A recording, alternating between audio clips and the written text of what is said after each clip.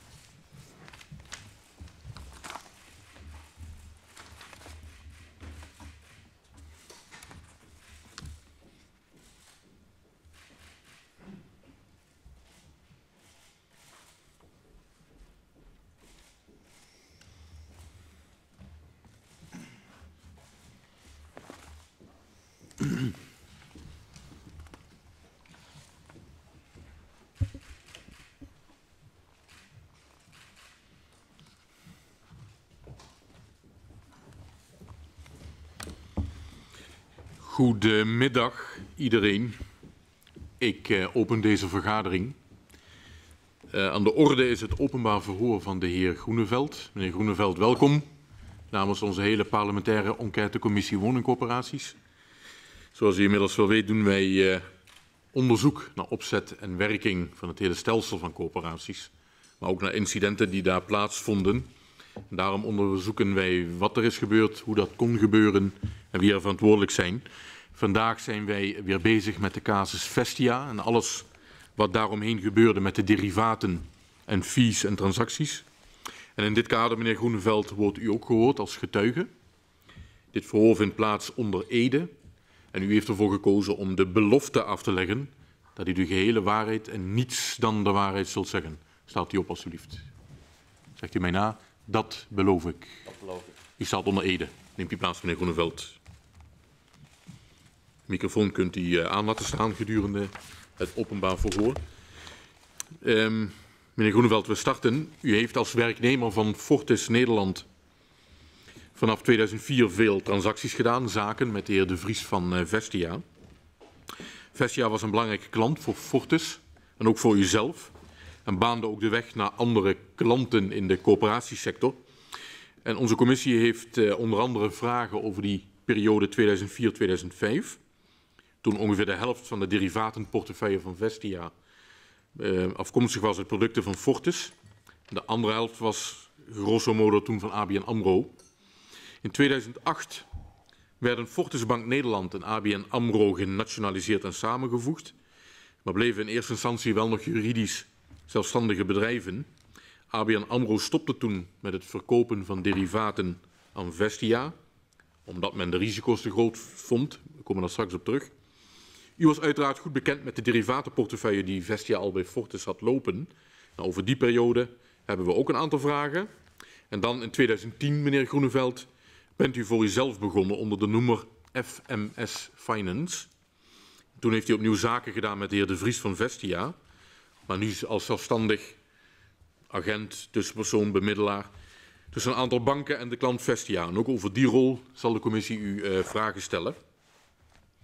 Meneer Groeneveld, u heeft zelf een HAO-opleiding gedaan. En op een gegeven moment kwam u dan in de dealing room van ABN AMRO. Uh, klopt dat? Dat klopt. Hoe uh, ging u vervolgens bij Fortis Nederland werken? Ik ben ongeveer na 2,5 jaar voor ABN AMRO te hebben gewerkt. Heb ik gesolliciteerd bij Generale Bank. Dat was aan, aan de overkant van, van ABN AMRO in Rotterdam. En daar ben ik aangenomen. Wanneer was dat? Uh, dat zal, ja, dat is ergens in 98 uit mijn hoofd. Wat was daar nou uw functie toen u van ABN AMRO naar Fortis ging? Dezelfde functie.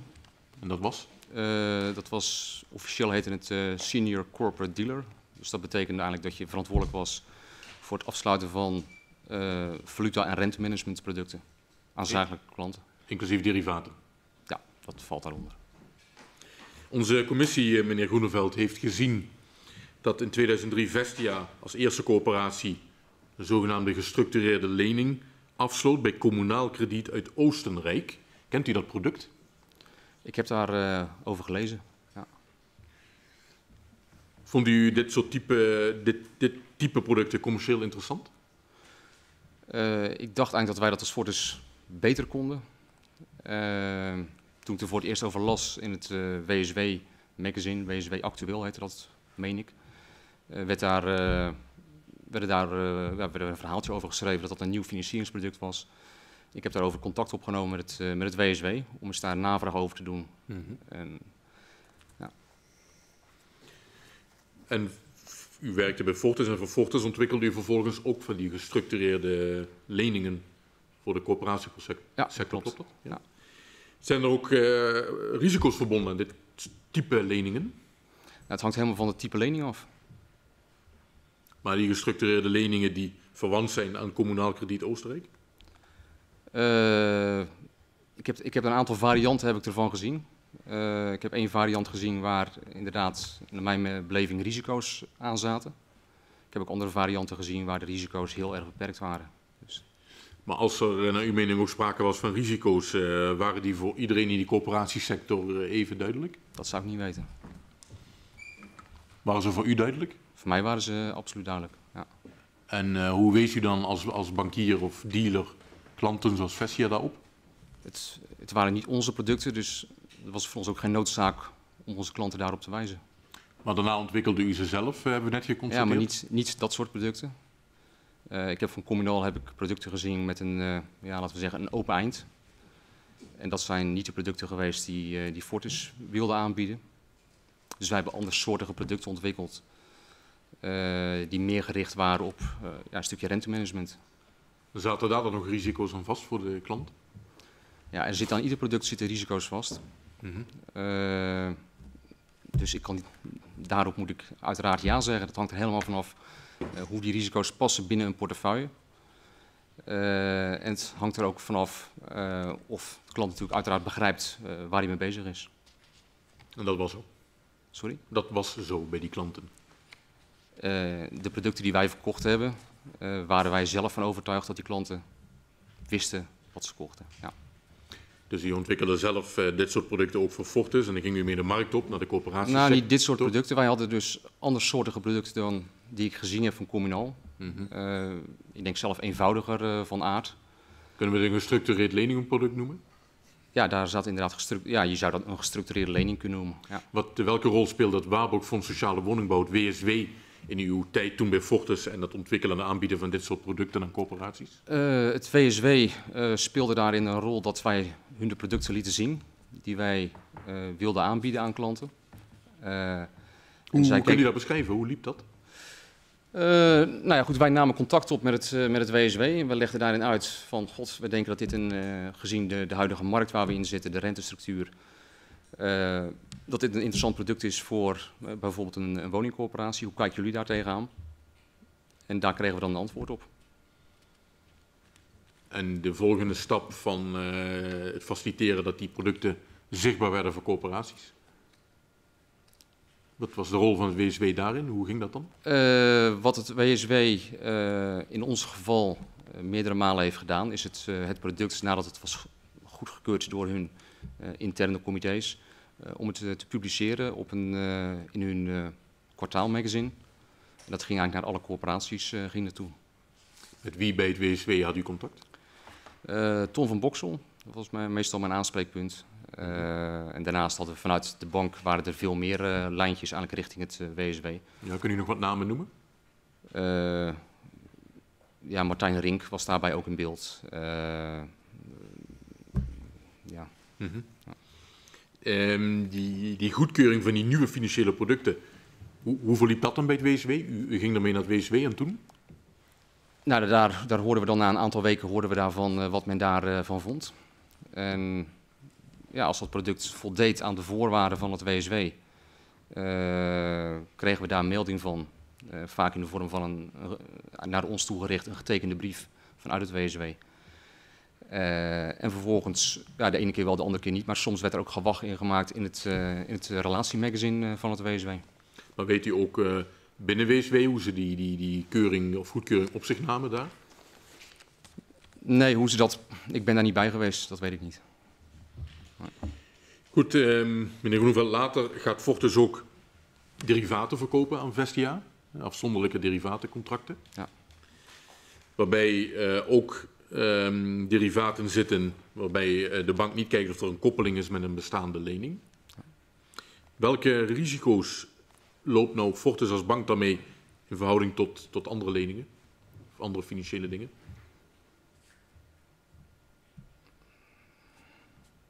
Um, nou ja, het risico wat je loopt is dat je het, het, het totale overzicht, uh, dat je dat gaat missen op een bepaald moment.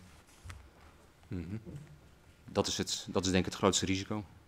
Want uiteindelijk, uh, of het wel gekoppeld is met een lening uh, of niet, maakt eigenlijk voor het risico, het, het risico van de bank niet uit. omdat het WSW daarvan zei, derivaten borgen we sowieso niet. Dus losse derivaten werden niet geborgd. Dus of daar nou een een één-op-één relatie te vinden was, of het was op portefeuilleniveau, dat maakte eigenlijk voor het, het bedrijfseconomische risico van de bank maakte het niet uit. Als uh, het WSW toen zei we borgen iets, wat, wat, was dan precies de betekenis van het al of niet goedkeuren van die nieuwe financiële producten? Nou, het WSW maakte een onderscheid tussen het, het borgen had SEC-betrekking op de lening -hmm. en alles wat daarbij hoorde. Dus een gestructureerde lening die kon in zich heel geborgd worden. Uh, maar een los derivaat uh, was het beleid van het WSW om dat niet te borgen. -hmm. Dus het zei voor de rest niets of het product goed was of niet goed was. Het was beleid van het WSW om derivaten niet te borgen. Die uh, derivaten die door Fortis werden afgesloten met in dit voorbeeld Vestia, wat betekende dat nou voor uzelf en uw positie binnen Fortis? Ja, dat betekende dat er uh, niet alleen voor mij persoonlijk, maar voor het, uh, voor het team, het, team wat zich bezig hield met uh, de publieke en semi-publieke sector betekende dat, dat we transacties deden, zichtbaar waren in de markt en uiteindelijk dat er geld verdiend werd. Klopt het dat u zich op enig moment meldde bij meneer Greven van FIFA Finance dat het gestructureerde leningen ook voor de bank veel interessanter waren dan standaard leningenproducten? Mm, nou, dat kan ik me zo niet herinneren. Het, het enige wat ik me wel kan herinneren, maar dat staat dan los van de heer Greven, uh, is dat het risico technisch voor de bank interessanter was uh, om het te koppelen als één product. Precies om de reden die ik net eerder zei. Een los derivaat werd niet geborgd, maar een derivaat wat echt verwerkt was in de lening, dat kon wel geborgd worden. Dus dat betekende dat je als, als bank uiteindelijk daardoor ja, minder risico liep op de, op de positie. Omdat het geborgd werd? Omdat het in zich heel geborgd werd. Door dat AAA-instituut WSW? Ja, uiteindelijk achtervang ja. van het Rijk. Ja. ja. Um, de commissie zou toch graag weten, wat was nu uw eigen jaarsalaris bij Fortis in die jaren?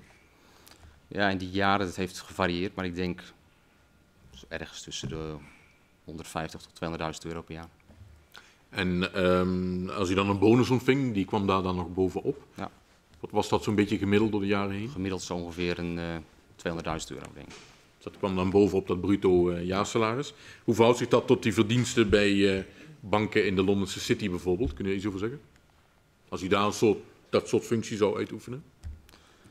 Uh, ja, dat hangt natuurlijk. Als je eenzelfde soort functie zou uitoefenen, ja, ik, ik, denk dat je daar wat meer zou kunnen verdienen. Maar goed, de levensstandaarden, het is daar ook een ander verhaal als je in Londen woont. Dus. Nou, is het wat meer of toch wel aanzienlijk meer? Ja, dat hangt er vanaf. Dat, ik heb het nooit meegemaakt, maar het zou meer kunnen zijn.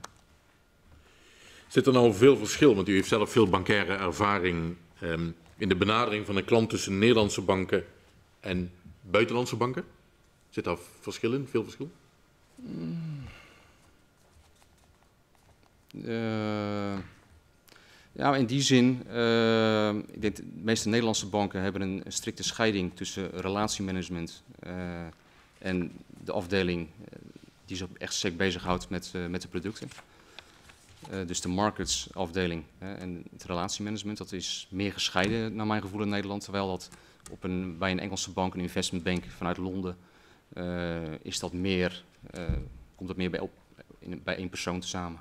Als ik het nou een beetje toespits, mijn vraag van daarnet, op de, de assertieve houding van zo'n bank in het benaderen van een klant of potentiële klant om een financieel product aan te bieden, wellicht een ingewikkeld financieel product, ziet u dan nog een verschil in benadering? Uh, ik denk dat je in zijn algemeenheid kan zeggen dat de banken vanuit Londen meer capaciteit hadden uh, om ingewikkeldere producten aan te bieden. Fortis was een, uh, wat dat betreft een ja, relatief eenvoudige bank wat betreft productenpalet. de meeste producten die we hadden waren eigenlijk ja, plain vanilla, zoals ze dat noemen. En dat betekende dat wij ook niet hebben meegedaan in de, ja, in de index-gerelateerde producten die geloof ik meerdere malen te sprake zijn geweest. Die gestructureerde derivaten en zo. Ja, de echt gestructureerde derivaten. Ja. Ja. Komen we straks nog even op. Um, was er een Nederlandse bank die wel een beetje in de buurt kwam van de aanpak van bijvoorbeeld Anglo-Saxische banken, die Londense City, qua glamour en uh, ingewikkelde producten? Nee, ik denk het niet. Ik, denk, ik sta, sta niet direct bij. Nee. Meneer Bashir, op dit punt nog aanvullend? Meneer Groeneveld, hoe keek u nou naar de woningcorporatiesector in, in uw tijd als uh, uh, werknemer van Fortis? Ik zag u naar de corporatiesector als een professionele sector? Uh, professioneel, zeker in de, in de zin van de transactievolumes die daar uh, werden gedaan.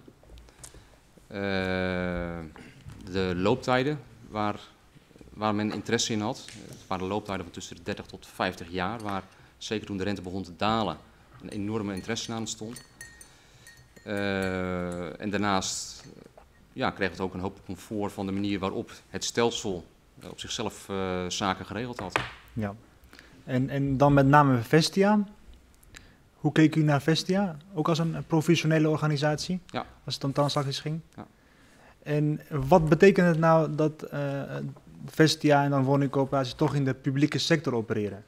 Semi-publiek. Semi-publieke sector. Maakt dat nou wat uit uh, voor de wijze waarop uh, u en dan ook uh, Fortis met de woningcoöperaties omgingen?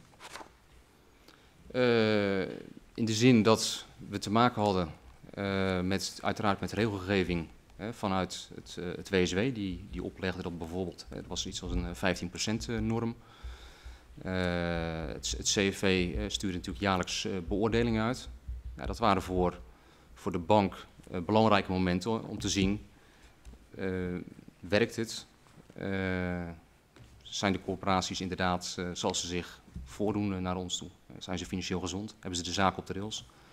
En als dat het geval was, en er verder geen opmerkingen waren van de externe financiële toezicht uit het Centrale Fonds en de Waarborgfonds, ja.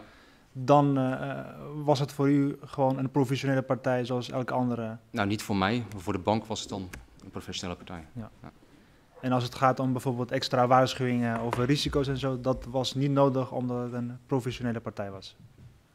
Hoe wat doet u op? Nou, bijvoorbeeld uh, als je een product afsluit, uh, dan kan ik mij voorstellen dat, als, dat hij dan aan niet-professionele partijen ook uitlegt van wat voor risico's eraan zitten. Ja.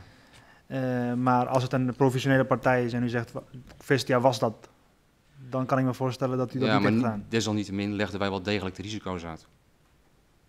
Waar, waar zit dan het verschil tussen professioneel en niet professioneel? Uh, het, het, verschil zit in, uh, het heeft te maken met MIFID. dus dat betekent dat je uitgebreider risico's moet laten zien. Je zal met scenario-analyses moeten laten zien aan de klant wat gebeurt er onder verschillende scenario's. het is allemaal veel, veel uitgebreider.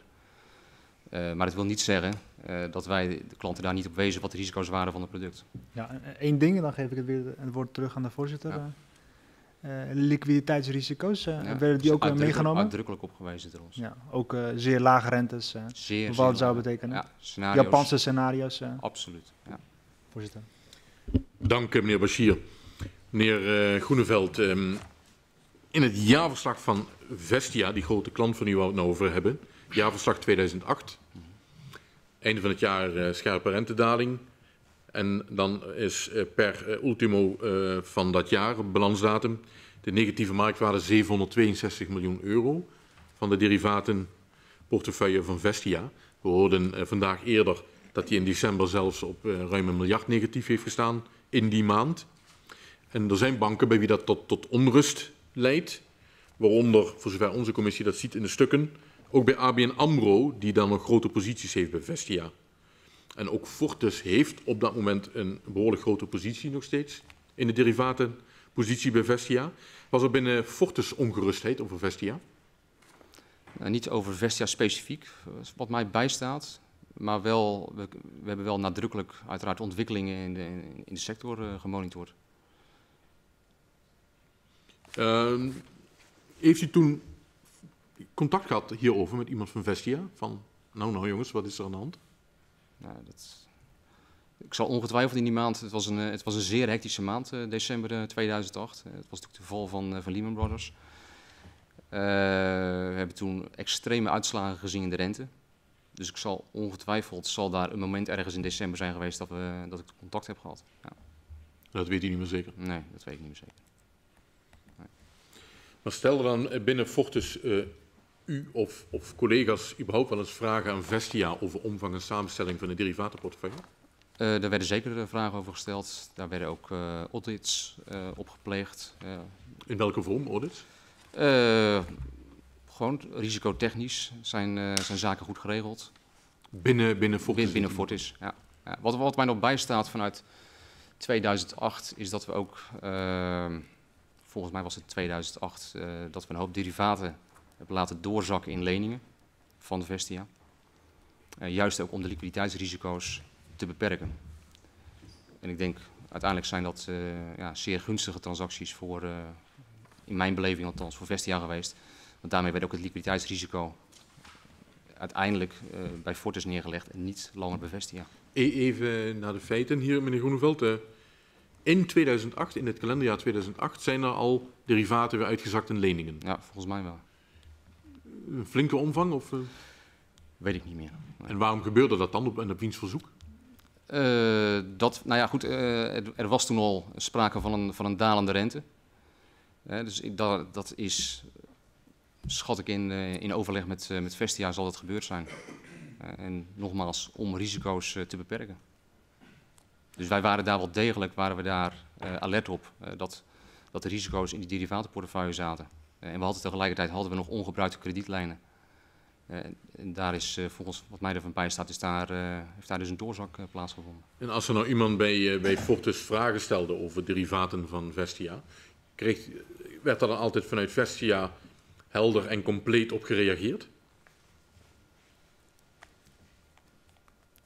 Uh, ja, dan, dan, de vragen die gesteld zijn, ga ik vanuit dat, dat daarop in voldoende mate in ieder geval uh, ja, gereageerd is.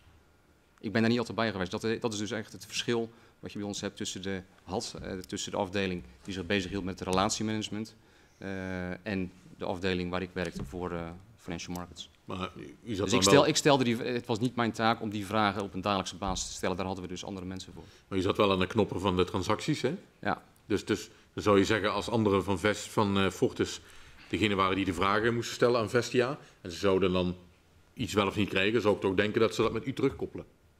Nou, ik zou daar misschien wel iets over gehoord hebben als er iets niet, niet in orde zou zijn. Ja. Maar dat, dat, dat, zou niet... dat zou dan betekenen stel dat, er, uh, dat men vragen zou hebben die niet uh, een bevredigend antwoord werd zou worden gegeven, ja, dan, dan zou je normaal gesproken zouden lijnen bevroren worden en kun je geen transacties meer doen. En daar is nooit sprake van geweest. Hm. Althans niet, zeker niet tot, tot 2010. Even naar ABN AMRO.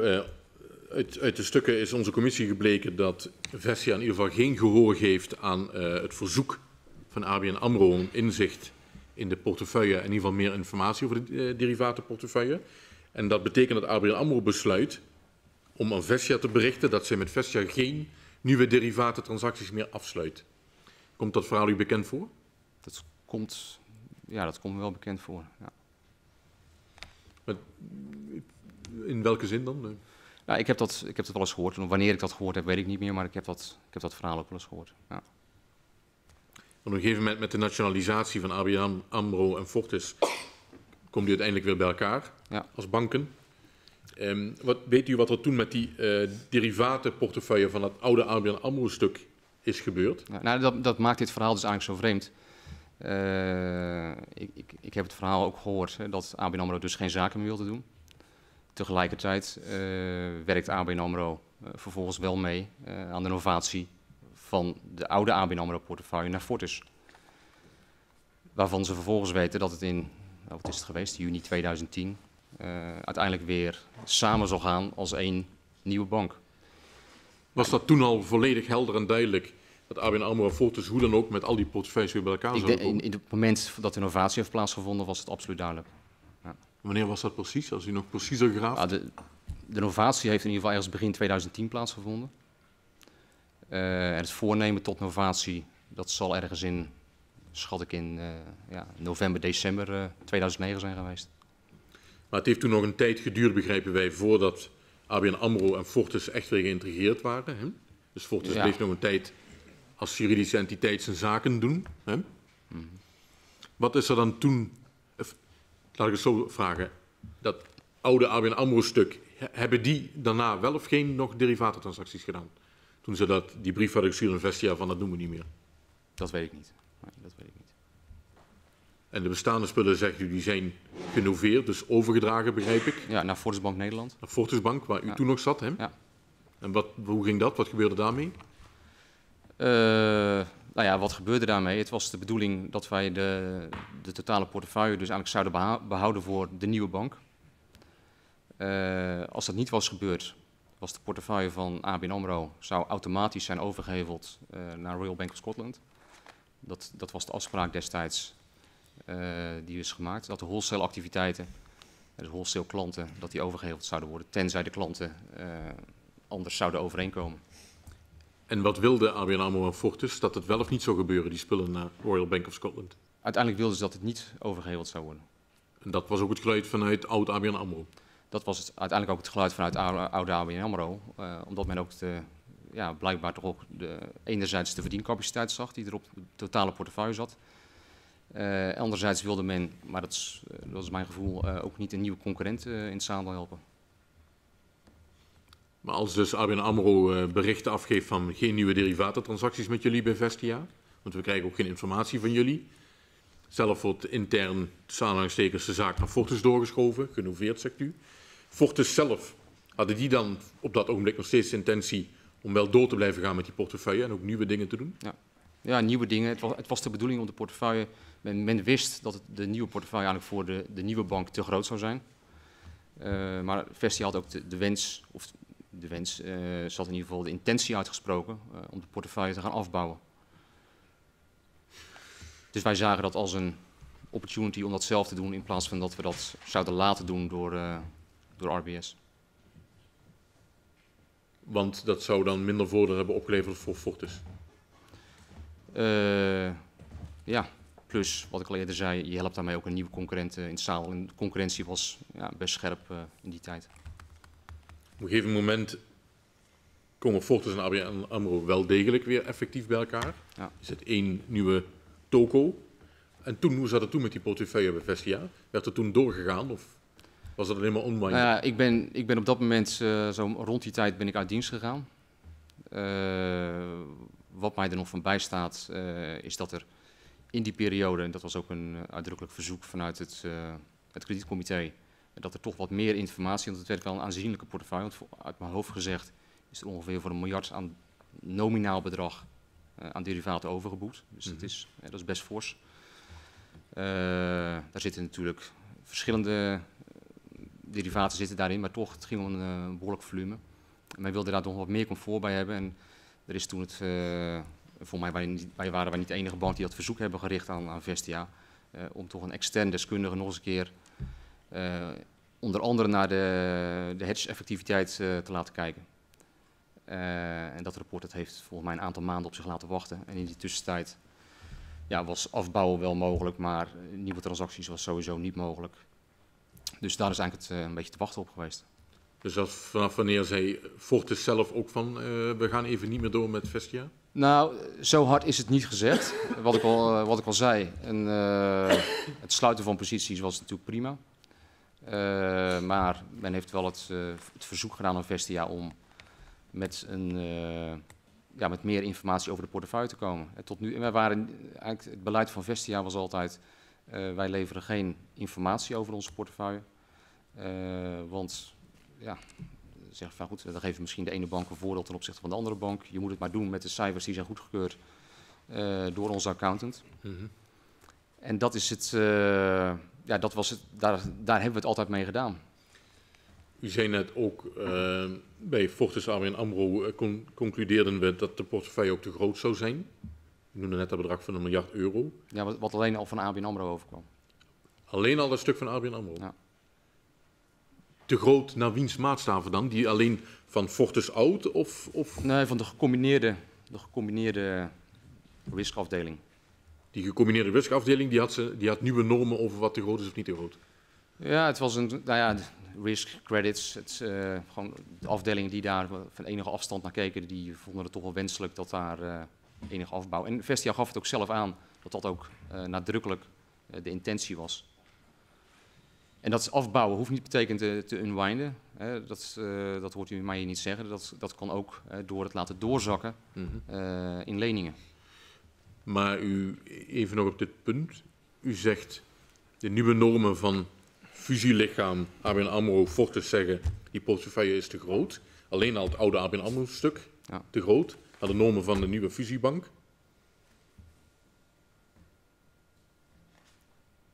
Ik ben hem even kwijt, maar... ehm, en het, het, het, het oude Fortis stuk dan, dat was niet te groot? Eh, nee, volgens mij was dat niet te groot. Nee. Nee.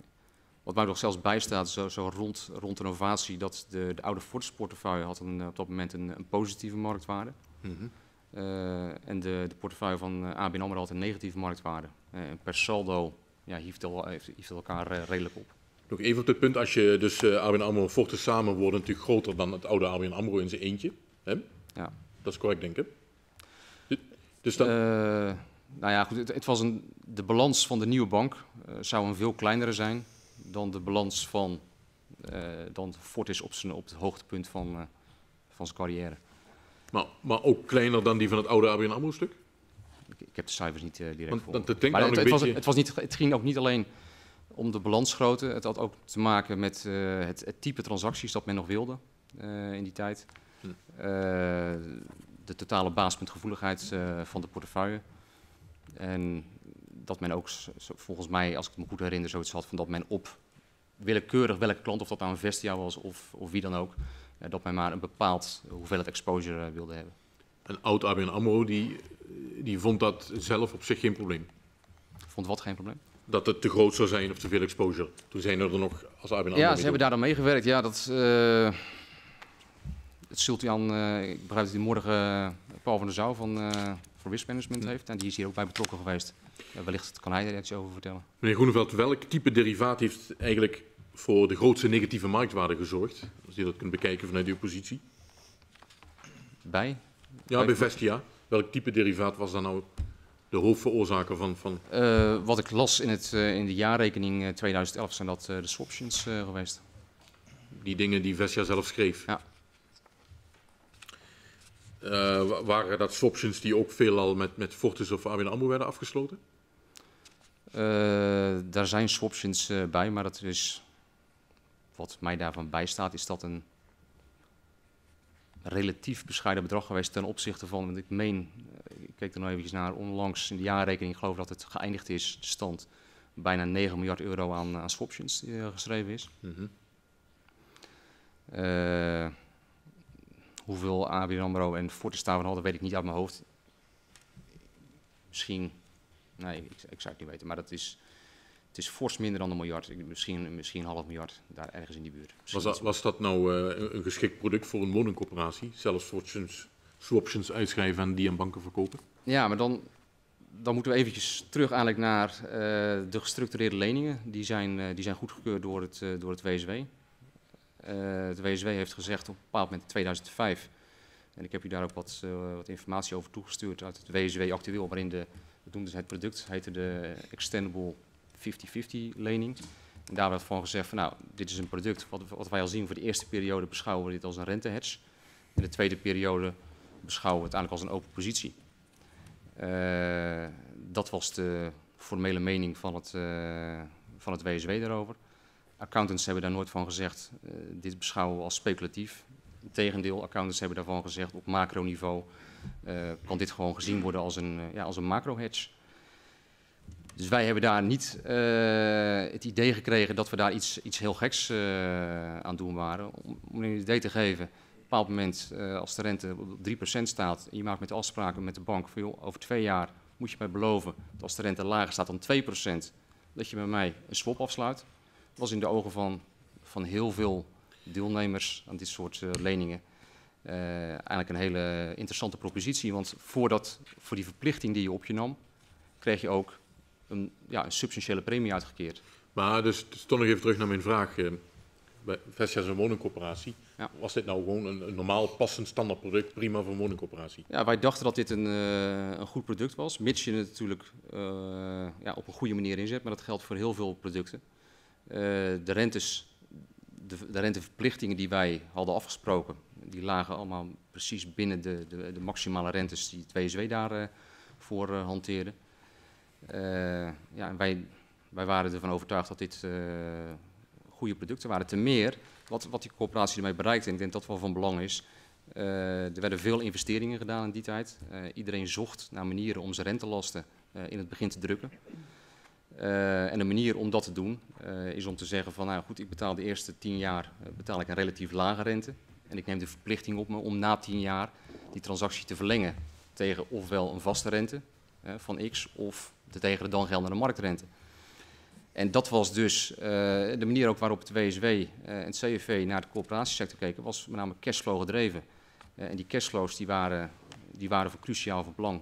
Dus op het moment dat je dus een product kon laten zien waar lage rentebetaling wat voortvloeide, althans in de eerste periode, was dat een, een interessant product. Dan zegt u daarmee dat het WSW ook het zelf door de coöperatie schrijven van swaptions verkopen aan een bank premie daarvoor in, dat WSW dat ook had gezien en goedgekeurd? Dat hebben ze, nou ja, uh, in ieder geval wij hebben dat laten zien in een gestructureerde lening. Uh, en uiteindelijk wat heel veel corporaties daarna gedaan hebben, is het uit elkaar getrokken en zeggen, nou die swaption die kan ik, want eh, uiteindelijk was het niks anders dan een, een, swap voor de eerste periode en een swaption voor de tweede periode. Dat hebben ze uit elkaar getrokken. Vanwege het feit dat ze daardoor vaak betere prijzen kregen. Verschillende banken hadden toch bepaalde niches in dit soort producten. en ma dat maakte het interessant ook om ze los af te sluiten. Hm. En het WSW die wist daar wel degelijk van. Goed. Ik uh, geef het woord aan collega Bashir. Meneer Groeneveld, uh, u bent net uitgebreid ingegaan op het noveren van de derivatenportefeuille van ABN AMRO naar het oude Fortis. Ja. had, zelf, had Vestia zelf ook nog een rol in deze? Een, een rol in, in, de zin van? Hadden zij wat te kiezen? Of? Natuurlijk. Het, het, het, was een, een het is iets wat we besproken hebben met Vestia. En uiteindelijk beslist Vestia. Wij beslissen daar niet over of er ja. iets wordt, wordt doorgezakt. En wat, of, iets, of iets genoveerd wordt. En wat was het voordeel van uh, Vestia? Het voordeel van Vestia was... Ja, wat het voordeel van Vestia was... Uh, ja, dat zou je aan Vestia moeten vragen. Ik... ik nee, dat... Want u zelf uh, was er toch bij betrokken? Ik, ik heb het technisch heb ik het ja. begeleid.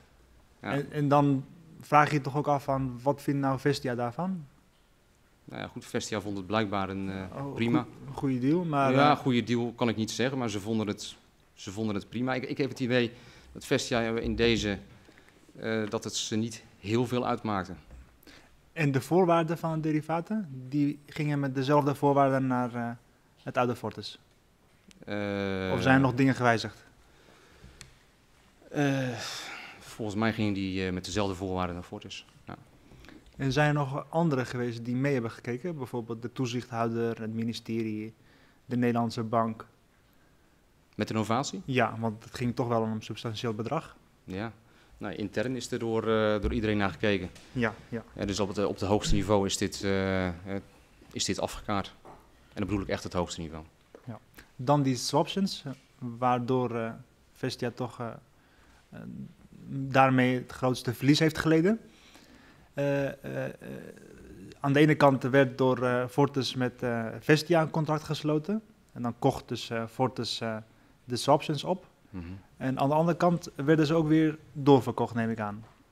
Tegengesloten in de markt bedoelt u? Ja. Ja. En wie waren de tegenpartijen? Eh, dat waren de investmentbanks uit, eh, uit Londen. Want uiteindelijk hebben zij natuurlijk eh, een gok afgesloten via Ja, u met konden- die Vestia en die zij hebben gewonnen. Ja, nou, dat zou ik niet zo willen zeggen. Die, uiteindelijk zijn die, die producten zijn ook weer doorverkocht aan natuurlijk eindbeleggers daarin. En dat zijn onder andere de Nederlandse pensioenfondsen. En zij hebben dus daarmee uiteindelijk... Nederlandse eh, pensioenfondsen ja, hebben ja. zich massaal ingedekt tegen rentedalingen. Dat deden ze door swaptions te kopen. En die swaptions eh, die werden onder andere verkocht door eh, partijen zoals woningcorporaties. Maar dat, dat denkt u, dat dat Nederlandse pensioenfondsen waren? Dat, Of, dat want kijk, de Nederlandse weet pensioenfondsen hebben inderdaad eh nou ja, dat, dat, heb, verkocht, dat, heb maar ik, dat heb ik gehoord, ja. of dan de Vestia de tegenpartij was. Ik heb, ik heb er niet bij gezeten, ik heb niet Ja, op de ja, dealing room ja. van zo'n investmentbank gezeten, maar dat, dat was wel wat je te horen Ja. kreeg. Dan wil ik met u eh, verder gaan, meneer Groeneveld, naar de praktische kant van derivatenhandel. Eh, ho- hoe ging dat nou in zijn werk, eh, zo'n transactie? Welke transactie? Bijvoorbeeld het feit dat Vestia een contract wilde aangaan met, met u, namens Fortis. Ja, hoe ging dat in zijn werk? ja dat, er waren, dat verschilt heel erg. Dat kan je niet zeggen van de, eh, dat er was een standaard eh, formule voor. Eh, soms werd er een idee in de week gelegd van kijk hier eens naar, misschien werkt dit. Dus soms ging u met eh, ideeën ja, naar soms, eh, soms kwamen wij met een idee. Soms Ja. waren marktomstandigheden de aanleiding. In één keer een forse rentedaling of in één keer een forse rentestijging. Waardoor er een aanleiding was om met elkaar contact te hebben. En ja, dan hing het er helemaal, helemaal van af eh, of een product eh, paste, of de markt eh, als aantrekkelijk werd gezien. En of, het, ja, of de pricing goed was ook ten opzichte van andere partijen. En soms kwam ook Vestia zelf met verzoeken naar... Ja, soms kwam, nou ja, absoluut. Nou ja, dat kwam, dat kwam zeker kwam dat, voor. Hè, dat we gewoon een verzoek kregen vanuit Vestia van reken dit eens door, ik kijk hier nu naar. Bij eh, Vestia was er een, eh, bij de derivatenadministratie was er een eh, front office en een back office. Klinkt natuurlijk heel chic, maar in feite was de front office de heer De Vries. En er was een mevrouw nog aan de achterkant, de back office, die de administratie deed. Ja. Is dat nou de wijze waarop een een miljardenhandel aan transacties geadministreerd hoort te worden bij een woningcorporatie? Ja, blijkbaar is het heel veel jaren goed gegaan. Eh, ik kan ook niet anders concluderen dat de accountant hier blijkbaar goedkeurende verklaringen over heeft afgegeven. Dus Wat vond eh, Fortis daarvan? eh, dat Ja, dat, ik zou niet weten wat Fortis daarover vond. Nee, blijkbaar was het geen probleem om, om toch zaken te kunnen doen. Maar u wist het wel als Fortis. Nou, ik, ik, ik ben niet alleen Fortis. Ja. Eh, Fortis, dat, zijn, eh, dat waren Nee, heel veel mensen. Dat weten we inderdaad. eh. Dus ik was een, een radertje in het, in het geheel. Eh, en er zijn heel veel mensen geweest die gesprekken hebben gevoerd, onder andere met Staal, maar met, ook met wevers, die daar op kantoor zijn geweest, die de situatie hebben gezien. Ja. En blijkbaar is dat geen aanleiding geweest om te zeggen dit moet anders. Maar of daarover gesprekken zijn geweest, ik, kan ik me eigenlijk niet meer, eh, staat me niet meer voor de geest. En wat vond u zelf ervan? Want u, u wist het ook, eh, hoe het georganiseerd was. Ja, ik wist hoe het georganiseerd was. En ik wist ook eh, hoe de Vries werkte. Hij kwam op mij altijd professioneel over. Had zijn zaken goed voor elkaar. Hij had professionele pricing systemen. Hij kon meerekenen. Er was nooit een, een rentebetaling die gemist werd. Hè, want dat is natuurlijk ook een, een, een lakmoesproef. Eh, op het moment dat je zegt van ik wissel de drie maandse Euribor uit voor een, eh, voor een vaste rente die ik iedere drie maanden betaal. Dan heb je dus iedere drie maanden zijn er dus renteverrekeningen. En ja, dat liep eigenlijk altijd vlekkeloos. Ja. En, en dan tezamen dus met goedkeurende verklaringen van allerlei instanties. Denk je op een bepaald moment van, ja goed, het, ondanks dat het een kleine bezetting was, leek het te werken. En ja, van dat het om, om deze volumes ging, eh, dat hoorde ik ook pas eh, eh, veel, veel later. Daar komen we straks op terug. Ja. maar eind 2008, dan wordt Fortis genationaliseerd. Ja. En Wat veranderde in uw activiteiten na die nationalisatie? Eh, Ja, wat veranderde? We kregen, we konden in eerste instantie bepaalde transacties niet meer direct indekken. Dus dat betekent dat we te maken kregen met eh, allerlei beperkingen. eh, met eh, volumes die we konden handelen, looptijden. En we moesten daar dus voor eigenlijk voor buiten de bank. Dus normaal sloten, we alles in bij Fortisbank Brussel af. Dat ging niet meer, dus we moesten naar, naar andere banken toe om onze risico's af te dekken. Dat was, ja, dat was een belangrijke verandering. En daarnaast ja, is in die tijd is ook de bank zich uiteraard gaan, opnieuw gaan oriënteren van wat willen we? Eh, willen we in deze sector? Kunnen we hier blijven acteren? Is er hier een rol voor ons eh, of niet?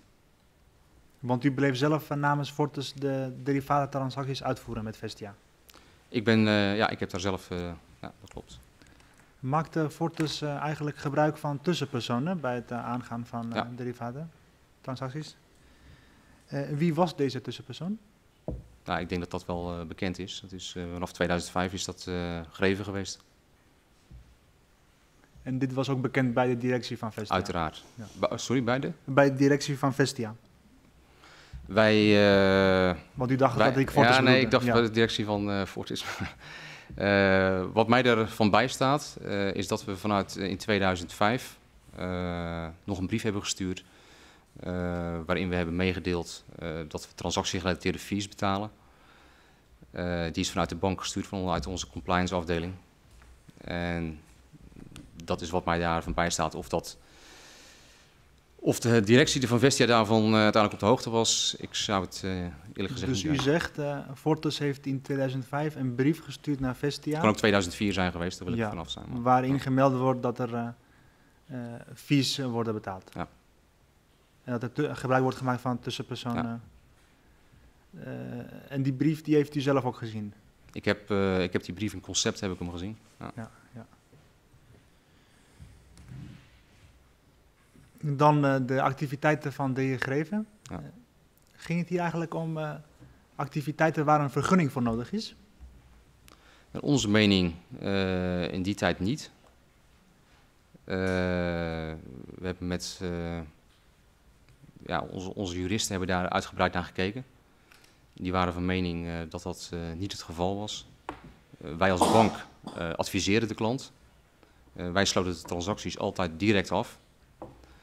En dat was voor ons op dat moment ja, voldoende om, om te kunnen werken met Ja. Greven als, eh, Want wat ik vanochtend ook aan de heer Greven vroeg en begreep, is dat hij zichzelf niet echt een tussenpersoon noemt. Hij noemde zichzelf meer een agent. Hij was ook geen adviseur, geen tussenpersoon, alleen een agent. En dan begrijp ik niet helemaal van eh, wat dan de meerwaarde is van zo'n iemand. Kunt u misschien dat eh, ook uitleggen?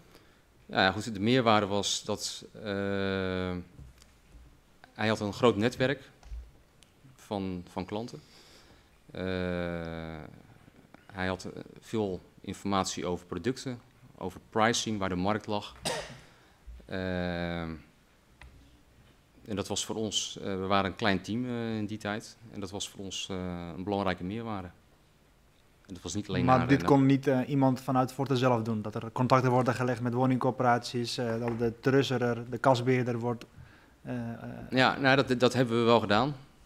Alleen in die tijd, eh 2004, 2005, toen we de relatie met, met Greven, toen die door Fortis is aangegaan, ja, zag men in ieder geval de meerwaarde in om met, eh, met zo iemand te werken.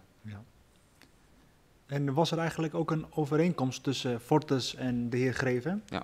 over, eh, over de, het betalen van fees? Ja. Wat stond daarin? Ja, dat kan ik niet meer voor de geest halen in, eh, in detail. Maar daar eh, stonden, laten we zeggen, de gebruikelijke, nou ja, gebruikelijk, wat is gebruikelijk natuurlijk, eh, maar er stonden in ieder geval een, een hoop bepalingen in over wat er over en weer van elkaar eh, verwacht werd. Want u Eh, heeft zelf ook eh, meegeholpen met het eh, opstellen van de overeenkomst. Niet met wat er over en weer van elkaar verwacht wordt. Ik heb wel een, een opzet gemaakt samen met de compliance afdeling van hoe we de, ja, de fees zouden kunnen overeenkomen met hem. Ja. En u zei, er stonden allemaal bepalingen in van wat over en weer verwacht wordt. Ja. Kunt u de bepalingen over de fees nader toelichten? Weet u Nou, de fee dat was, een, dat was een bijlage eigenlijk aan het contract. Eh, ja, daar, daar werden een aantal productgroepen eh, zaten daarin. Eh, uit mijn hoofd leningen, caps en floors, renteswaps, differentiatie naar looptijden, volumes. en volgens mij ook nog een, nog een staffel erin. Dat die eigenlijk op het moment, als de fees meer zouden worden dan een bepaald bedrag, dat die er op achteruit zou gaan. En met wie binnen Vestia had u contact over het betalen van fees? Met niemand. En dat was ook afgesproken. Nee, dat was geen afspraak, maar dat was het, eh, eh, dit was het beleid. eh, tenminste, beleid is een groot woord, maar dit was de manier waarop wij de rol van Greven zagen. Wij zagen hem als een verlengstuk van, van onze salesafdeling. Ehm, en ja, laat ik zeggen, de, de, de fee die wij hem betaalden, die zagen wij ook als een. Ja, eh, als, die drukte eigenlijk op ons, op ons resultaat. Maar het was niet zo dat we dat zagen als iets wat we aan, eh, waar, waarvoor Vestia zouden laten Ja. betalen. Want eh, u zegt, bij Vestia konden ze weten dat wij fees betaalden aan de heer... Uiteraard, dus ik, naar mijn weten stuurde Greven geen rekening naar, naar Vestia. En dan zegt u met eh, uiteraard alleen de heer De Vries of ook nog anderen binnen Vestia? Nee, ik, ik bedoel, eh, het was uiteraard dat we, als Greven geen rekening stuurt naar ons, ga ik ervan uit dat men begrijpt dat wij de rekening betalen als bank zijn. Ja, want u had alleen maar contact met eh, de heer De Vries of had u ook contact met Ik anderen? had, ja, ik had alleen, eigenlijk alleen contact met de Vries. Ja. U zegt eigenlijk, maar ook wel eens contact met anderen. Ja, ik heb wel eens eh stalende wandelgangen gezien. Eh, maar voor de rest, eh, gezien, eh, ja, gezien. gesproken? nee, niet gesproken. Niet gesproken. Wel collega's van me hebben hem wel gesproken. Ja. Wist u dat de heer Greven een deel van zijn fees doorbetaalde aan eh, Nee. de kasbeheerder van Vestia, de Nee. heer De Vries? Nee.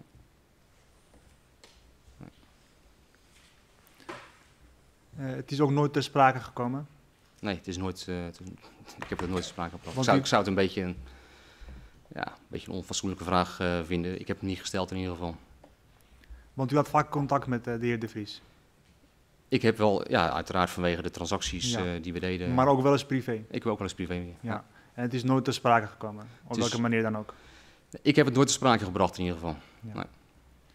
En eh, had, u ook, had u er vermoedens van? Nee, ik had er geen vermoedens van. Want vanochtend hebben we deze vraag ook aan de heer eh, Greven verteld, Mhm. vra- gevraagd. Ja. En hij vertelde dat eh, eh, u hem wel eens gevraagd hebt van wat hij aan de heer De Vries doorbetaalde. Nee, nee, niet waar. En dat hij dan daarop heeft geantwoord dat hij goed zorgde voor zijn wijnkelder. Ja, nou, Daar kunt u zich niks meer ik van kan me daar herinneren. absoluut niks van herinneren. Heeft u er ook geen geruchten over gehoord? Ik heb er, nou ja, in 2012 uiteraard, toen het, Ja. toen het in de media was. Maar eh, nee, Ook niet van andere bankiers Nee. of tussenpersonen of mensen die Nee. eh, dichtbij stonden? Nee.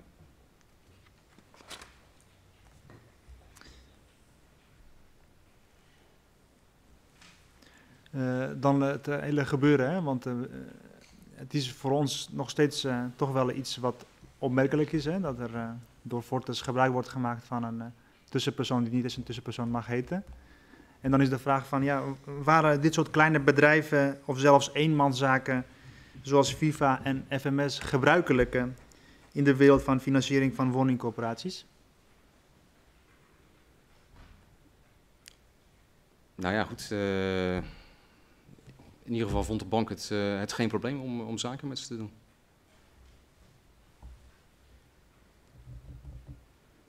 Zijn er bij u weten nog van dit soort bedrijven actief in de wereld van Ja, er waren er heel veel. eh. Nu nog steeds bedoel ik. Oh, nu nog steeds. Ik denk dat er nu niet veel meer actief zijn. nee.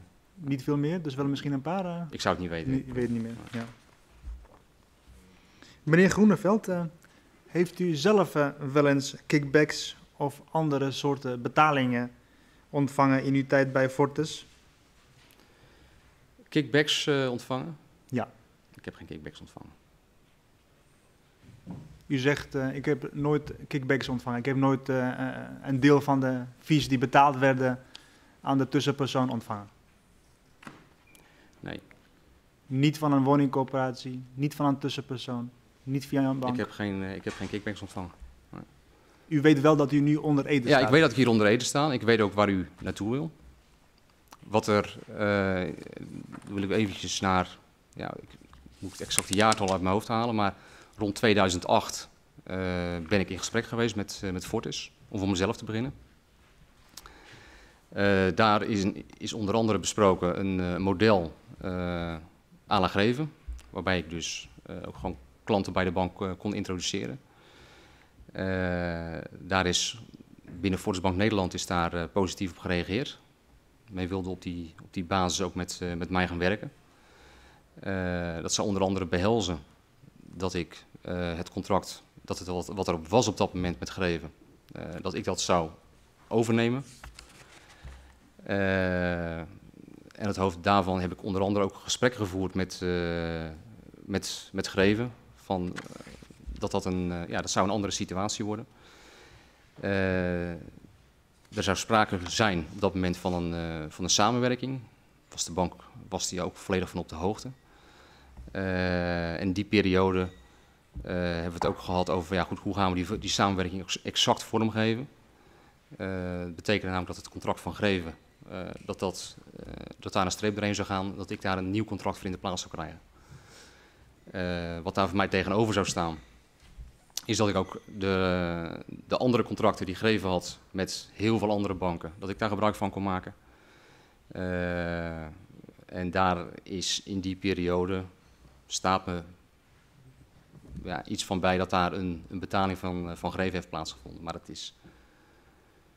eh, De heer Greven verklaarde vanochtend eh, dat hij u tussen de 10 tot 15.000 euro heeft betaald. Ja, in ik- 2007 of 2008. ja, En dat zou te maken hebben met het oprichten van uw eigen BV. oprichtings, oprichtingskosten. Maar Ja. ik, ik kan het bedrag kan ik me niet meer direct voor de geest halen.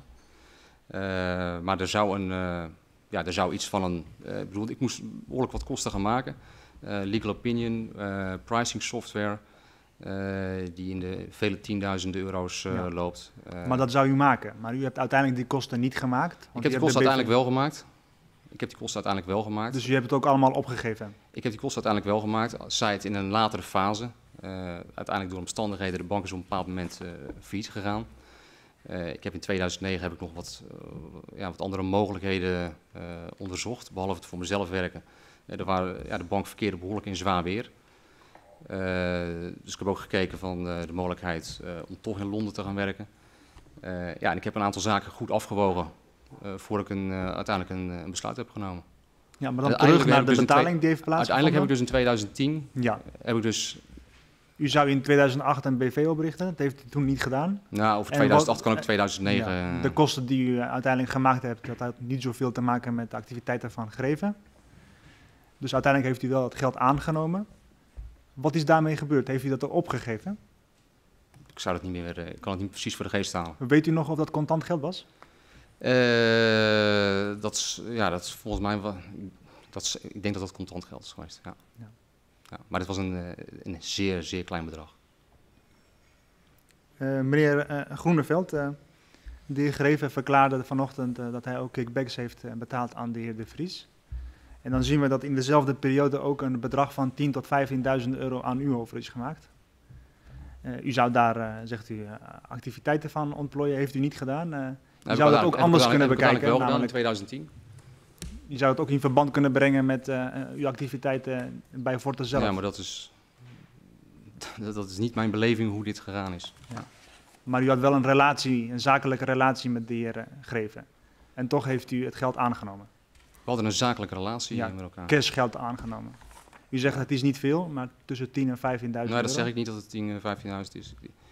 U ontkent dat het bedrag. eh, ik, Zo ik, kan het niet direct eh, voor de geest halen. Maar het was in ieder geval het was minder dan waar, eh waar Greef het over had. In mijn beleving. eh, ik ga zo weer met u verder over eh, de betalingen die u zelf wellicht heeft uitgevoerd. Maar eerst kijk ik nog naar de voorzitter, of hij hierop door wil gaan.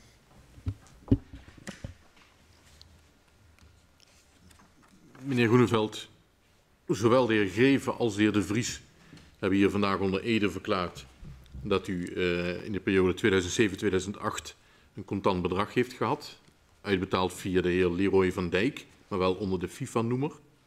Dat was in de tijd dat hij nog een loondienst was als, als eh, trader bij Fortis, dat klopt toch? Eh 2008 was ik in loondienst eh, bij Fortis. Niet als trader, maar sales. En toen heeft u dat bedrag in contanten ontvangen. En je kunt zich echt niet meer herinneren hoe hoog dat nou was? Nee. Nou, als ik zelf 10 of 15.000 Ja, ik weet het, contant maar- zou vangen, zou ik echt nog wel weten. Ja, nou, ik niet. Nee. Het was in ieder geval een, eh, het was een bescheiden, een zeer bescheiden bijdrage aan het feit dat we een gezamenlijke onderneming zouden gaan oprichten. Waar ik toestemming van had binnen Fortis Bank eh, om die te gaan oprichten. En ja, dat is uiteindelijk, heeft dat later plaatsgevonden. Hm. Ja, dat, eh, dat zijn zo. Maar als dat allemaal was in het kader van eh, al of niet onder de noemer van FIFA samenwerken en, eh, Mhm. en samen op pad gaan, dan betaalt Leroy van Dijk met medeweten van Greven die 10.000 of 15.000 euro uit. Ja, dat, sorry, dat, dat- staat me niet bij dat Leroy van Dijk dat, dat gedaan heeft. Nou goed, dat is in ieder geval onder ede verklaard door de heer Greven. En de heer Vries, de Vries heeft ook bevestigd dat hij eh, weet dat er geld in u is betaald. Dat is die 10.000 à 15.000 euro. Die hebben we dan eh, zo eh, begrepen. Oké, was, was, was die erbij? Dat eh, is nu even niet relevant. We hebben in ieder geval van twee getuigen gehoord dat u dat geld heeft ontvangen. U heeft net ook zelf toegegeven dat er een bedrag contant is verstrekt. Mhm. Maar uiteindelijk die samenwerking die is niet van de grond gekomen. Ja, die is uiteindelijk wel van de grond gekomen, alleen het heeft langer geduurd. Maar u Eh, bent toch niet voor FIFA gaan werken? U, u had later FMS Finance. Ja, maar er is wel degelijk is er sprake geweest van een, eh, van een samenwerking. Op het moment dat ik uit dienst ben geweest, en ook daar, is de, daar was de bank ook volledig van op de hoogte. Eh, Van die betalingen nu? de bank was volledig op de hoogte dat ik zou gaan samenwerken met FIFA Finance. Dat, dat, was, eh, dat was overal was dat bekend. Mhm. Eh, en dat heeft ook echt, daadwerkelijk heeft dat plaatsgevonden in de periode, eh, ja, ongeveer juni tot, schat, ja, misschien oktober eh, 2010. Wanneer bent u nou feitelijk uit dienst getreden bij Fortis? Dat is eh, juni 2010 geweest. En zegt u nu dat u dus voor juni 2010 al voor FIFA activiteiten heeft verricht? Nee, ik zeg dat ik in 2010 uit dienst ben gegaan. Mhm. eh, En dat we in 2010 formeel de samenwerking zijn aangegaan. Dat is dus vanaf juni, juni 2010. Juni 2010. En 2007 of 2008 worden die contanten Nou, dat, nou ja, dat, oh, 2007 sta- staat me niks van bij. 2008 eerlijk gezegd ook niet. In mijn beleving, maar eh, ik weet het niet precies, maar ik dacht eerder dat het 2009 is geweest. Maar dat bedrag dat heeft u dus ook nooit teruggegeven aan Van Dijk of Greven van FIFA? Ik weet niet meer hoe dat, eh, hoe dat exact verlopen is. Ik weet in ieder geval wel dat ik met ze ben gaan samenwerken in juni. Eh, en dat is, het, dat is wat er gebeurd is. En waarom moest het eigenlijk in contanten dan? Ja, ja goed. Eh, u vraagt me nou naar iets wat eh, u beter kunt vragen aan de heer eh, Greven, denk ik. Ja, u ontving het geld, dus, dus Voor mij maakte het niet uit. Ik zag. ja, als, als bankier... bankiers in Nederland zijn gebonden aan allerlei strenge toezichtsnormen. En Ja. zeker als het gaat over contanten. Ja. Dus dat is een kwestie van de kat op de spek binden. Ik zou dan zeggen, bij u slaan alle stoppen door van oeh, Nee. contanten. Oh jongens, Nee. maak hem er netjes over. Nee, ten En eerste, ik meld wel aan de fiscus wat het nee, is. nee, nee. Ten eerste, ten eerste eh, het was, eh, ik heb open kaart gespeeld hierover binnen, binnen de bank. Het was gewoon, het was bekend eh, dat ik met FIFA zou gaan samenwerken. Eh, men stimuleerde dat ook. Men vond het een prima idee. Dus het is niet zo dat er iets voor gedaan is of iets is voor nagelaten. Nee, dat, maar u, u zegt eh, nu al een paar keer van eh, men wist het bij Fortis dat ik zou gaan samenwerken. Dus, dus ook dat u dan naar dienst zou treden. Ja. Blijkbaar in 2008 of 2009 al. Dan heeft dat nog lang geduurd. Maar wisten ze bij Fortis ook van die contante betaling? En dat u dat geld dan ergens in uw binnenzak stak? Nou ja, zo, zo, op die manier eh, ging het niet. Eh, nogmaals, het was een, eh, wat ik me kan van herinneren, eh, was het een stukje aanbetaling op een, eh, de investeringen die ik moest gaan maken. En dat is het verhaal. Ik kan er niet meer van maken dan het is. Wat zat in een envelop dan of zo? Dat zal ongetwijfeld. Ja. Ja. Ja. Goed. ehm, bij Fortis wisten in ieder geval dus, dus niks van die Nou contanten. ja, dat is, eh, nogmaals, ik zeg daarover, eh, ik heb daar open kaart over gespeeld naar Fortis toe. Over die contanten. Ik heb over kaart gespeeld over het feit dat we zouden gaan samenwerken. En ik heb ook over kaart gespeeld over het feit dat ik uit dienst zou gaan. Eh, en dat was bekend. En ik, kan me er niet voorstellen dat het verboden is eh, om ervoor te kiezen om uiteindelijk uit dienst te gaan eh, en ondernemer te gaan worden. Nee, maar ja, u was nog in loondienst en ik kan me voorstellen dat Fortis graag wil weten wat u verder zo al uh, ja, maar op dat, op dat relaties moment, aan ja, ja, op, dat, op dat moment was er sprake van dat dat op een redelijk snelle termijn was ik dat van plan om uit dienst te gaan. En dat is, ja, dat is hoe het gebeurd is. Mhm. Heeft u er ooit met Fortis over gesproken, expliciet? Jongens, let wel, ik heb nog een bedrag in contanten ontvangen. Ik kan me dat niet meer eh, direct... Van een relatie waar jullie ook ik zaken mee dat doen. kan me niet direct eh, voor de geest halen.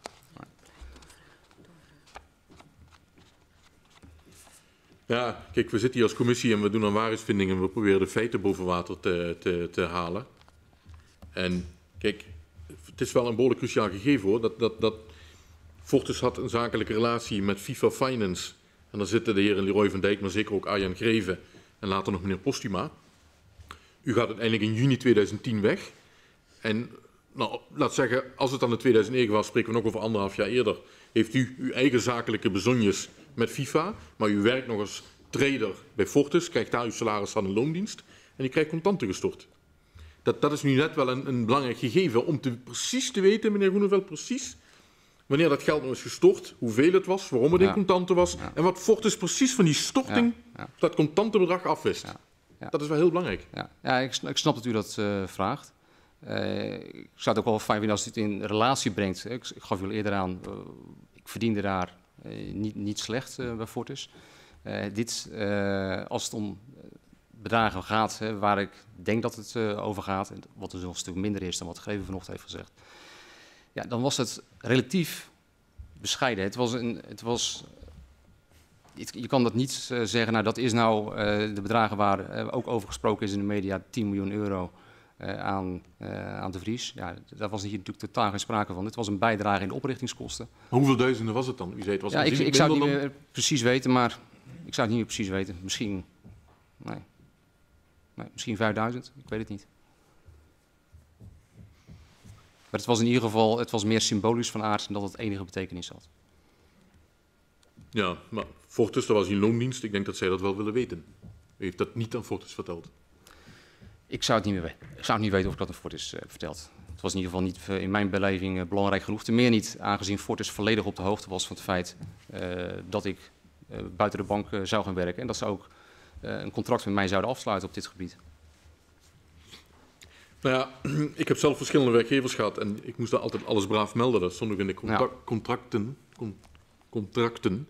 Dus, dus ja, kijk, als u hier onder Ede staat en u zegt alleen maar kan het me niet herinneren, dan, eh, dan roept dat wel de nodige sceptisch hier aan deze kant van de tafel ja, op. nee, dat is, ja. Want, want nogmaals, eh, u bent bankier of, Ja. of trader, Ik- ik ja, goed, ik snap het. Maar goed, eh, contant, mij- het, het was de wens. Ja, ja, ik snap het. Maar het was de wens vanuit Fortis en vanuit mijzelf eh, om met elkaar door te gaan eh, in, een, in een zelfstandige setup. Eh, dat is uitgesproken van beide kanten. Eh, men had op dat moment een contract met Greven. Eh, Greven wilde ook met mij samenwerken. Had zijn eigen bankcontacten. Ja, op dat moment was dit meer een, een signaal vanuit, eh, denk ik, Grevense positie om te zeggen van, nou ja goed, we willen zeker deze relatie met je, met je aangaan. Maar niet, eh, dit is, dit is op, in mijn beleving op geen enkele manier eh, te kwalificeren als enige vorm van steekpenning of hoe je het ook wil noemen. Dan toch nog één vraag. Waarom, trader, bankier, waarom heeft hij contanten geaccepteerd en niet gezegd dan tegen Van Dijk of Greven, maak het alsjeblieft even over, dan ziet iedereen het. Dat zou je aan Greven moeten vragen. Nee, ik vraag het nu aan u. Ja, ik zou u het niet weten. Ja, de contanten in een envelop. Ja, goed, u vraagt, me, u vraagt me om, eh, laten we zeggen, zes jaar terug te gaan in de tijd, eh, om in Grevens hoofd te kijken. Nou, dat, sorry, dat, eh, dat kan ik niet. Ik weet niet wat zijn beweegredenen zijn geweest. Als ik in uw hoofd probeer te kijken. Nou ja, goed, voor mij maakt, ik, het was voor mij niet, eh, niet relevant. Meneer Bashir, Meneer Groeneveld. Wat zijn de gedragsregels van Fortis als het om dit soort zaken gaat? Eh, gedragsregels zijn dat je onder andere dit soort zaken, u doet op nevenactiviteiten en dergelijke. Ja, dat je nevenactiviteiten hoor je te melden. En u heeft u, eh, u ik gemeld gem- dat u van ik plan was iets ja. te starten. Ja. En vervolgens heeft u eh, contanten aangenomen. Maar heeft u ook verteld dat u ook, dat u ook contact, contanten hebt aangenomen? Ik kan me dat niet direct voor, eh, voor de geest halen. Maar ik, ik heb wel, er is wel heel duidelijk sprake van geweest, exact hoe het contract eruit zou gaan zien. Eh, dat ik het contract van Greven zou overnemen eh, en dat dit contract er in de plaats zou komen. Ja, en ik begrijp dat u dan aan een stukje waarheidsvinding wil doen, maar ik, ik had zelf het idee dat we, we, praten hier over een, eh, de schade aan de kant van Vestia, eh, 2 miljard. Eh, als we het in, proberen in, in verband te brengen tot waar we hier nu over praten, ja, dat, dat is... Dus ik, ik vraag me ook af... eh, Ik begrijp dat u het wilt relativeren, maar wij willen ook kijken van wat nou de rol was van u zelf eh, Ja. bij deze debakel. Ja. Bij dit debakel en de rol van eh, Fortis. Daarom proberen we ook wat door te vragen. Maar u zegt van, ik kan het mij niet herinneren. U weet wel dat het contanten was. U weet wel dat het een klein bedrag was, Heel maar u kunt zich niet herinneren hoeveel het was. Nee. Dat is toch opmerkelijk? Ja, nou ja, goed, het is... hoeveel jaar geleden praten we over? Kunt u dan eh, orders aangeven? Was het eh 10.000 euro? Was het 5.000 Nou, euro? Was was het het, eh, eh, voor mij 100 was- euro? Nee, voor mij was het veel minder. Hoeveel was het? Ja, ik weet het niet. Kunt u een orde aangeven van ongeveer? Nee, nee ik, kan, ik kan het niet direct aangeven. Ja, want eh, juridisch is het zo dat als de bank weet dat u geld hebt aangenomen en dat het ergens voor bedoeld is, Mhm. dan is het natuurlijk niet zo erg. Hè? Dan Nee. weten ze dat. Ja. Maar als zij het niet weten, dan is dat natuurlijk wel Ja. strafbaar. Dat Ja, weet het u. was, het was ex- expliciet bedoeld voor het oprichten van de nieuwe onderneming. De kosten die ik zou gaan maken daarvoor. En de samenwerking die we zouden aangaan in een nieuwe setup. Waarbij Greven de verdwijnende partij was voor Fortis eh, en ik de nieuwe partij. Ja, u weet dat allemaal wel, Dat weet ik. Ja. maar u weet niet hoeveel er in eh nee, ik, weet, ik kan het zat. niet. eh, sorry. Nee. En eh, ehm, u hebt ook dit met uw werkgever besproken, zegt u? Althans, uw niet voornemen alleen, om iets... niet alleen besproken, dit is, eh, dit is in het, eh voor mij in het, in het MT van, uh, van Fortis Bank Nederland is dit eh, besproken. maar u was eh, bankier, u neemt Ja. contanten aan. Waarom niet giraal? Ja, nogmaals, dat, eh, dat, zou- Jan Greven moeten vragen waarom hij dat... Nee, eh, u hebt het uiteindelijk aangenomen. Ja, ik heb het aangenomen. Ja. En vervolgens heeft u dat gestort op uw rekening of heeft u het contant ja, gehouden? ja, voor mij is dat, ik denk dat het gewoon gestort is. Ja. En als u zegt van ik heb het gemeld aan mijn werkgever, eh, is dat dan ook ergens gedocumenteerd? Ik heb niet gezegd dat ik het heb gemeld aan een werkgever. Ik heb gezegd dat de bank volledig op de hoogte was eh, van de setup die wij voor ogen hadden. Met daarbij behorende contanten die je hebt gekregen? Met de, de vier betalingen die daaruit zouden gaan voortvloeien. Nee, eh, mijn vraag Ja, was dat ik, ik geef u antwoord, dat is mijn antwoord. Ja, dus u hebt niet gemeld, concludeer ik dan, dat u contanten hebt aangenomen.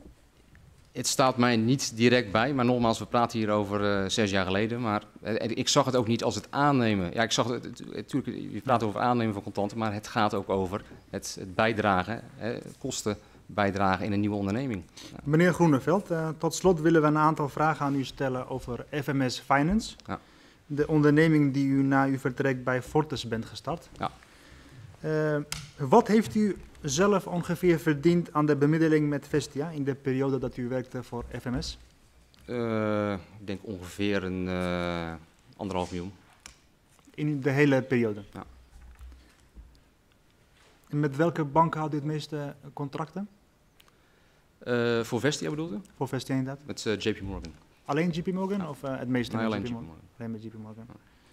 En wat was dat nou voor een product? Waarom juist JP Morgan? Ja, die hadden de beste voorwaarden. En die waren? Eh, die waren eh, geen break losses. Eh, zeer scherpe pricing. En ze waren in staat om een hele hoge threshold te geven aan Vestia. En de anderhalve miljoen wat u net noemde, dat is een bruto of netto? Bruto. Bruto. Meneer Groeneveld, heeft u zelf wel eens geld betaald gerelateerd aan derivatencontracten onderhands? Geld betaald onderhands. Eh, Eigenlijk net- is de vraag hetzelfde als eh, wat we vanochtend aan de heer De Vries hebben Ja. gesteld. eh, geld betaald aan de hand van, nou, gerelateerd aan derivatencontracten. Nee, zo staat mij dat niet voor de geest dat ik dat gedaan heb. Nee. En niet gerelateerd aan derivatencontracten? Ja, en, en aan wie bedoelt u? Eh, in verband met eh, de transacties die u aanging of Met wilde Vestia, aangaan. met Vestia. Met Vestia bijvoorbeeld. Of andere partijen. Nee.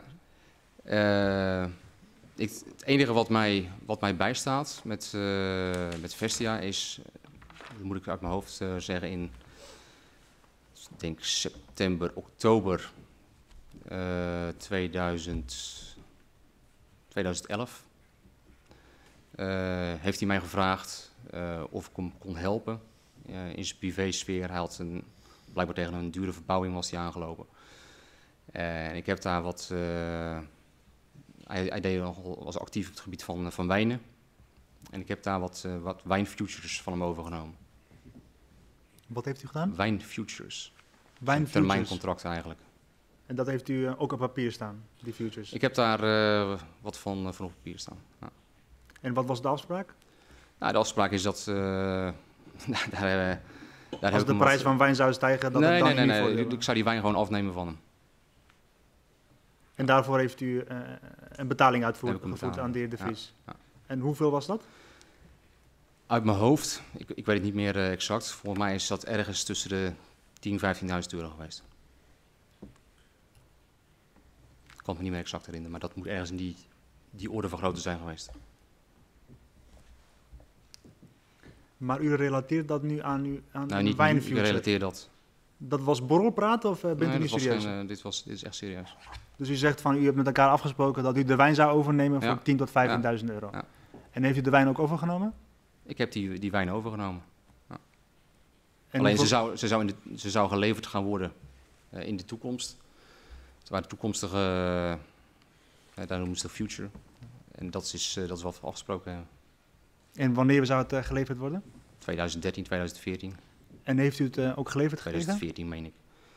Eh, ik. Nee, ik heb geen, het contact daarna is, met, is verbroken. Maar u zegt ik had een future en een future is Ja. een recht. Ja, is een recht. Dus, Dus, u, dan wilt, zou je dan, ook, u kunt ja. het ook laten Ja. uitoefenen. Ja, ik heb daar, ik heb daar in mijn hoofd maar, maar afscheid van genomen. Ja, ik ben verbaasd, meneer Groeneveld, want we hebben het nu over... U staat onder Ede, Ja. allereerst. We hebben het over een serieuze zaak. Ja, dit is een serieuze zaak. Ja, dit zegt, ik heb een nagaan. future afgesloten op de wijnkelder Nee, van ik heb, de ik De heb ze niet Vries. Nee, nee, nee, zo is het niet gegaan. Eh, de Vries die heeft eh, in die periode was een eh, redelijk vervent wijnverzamelaar.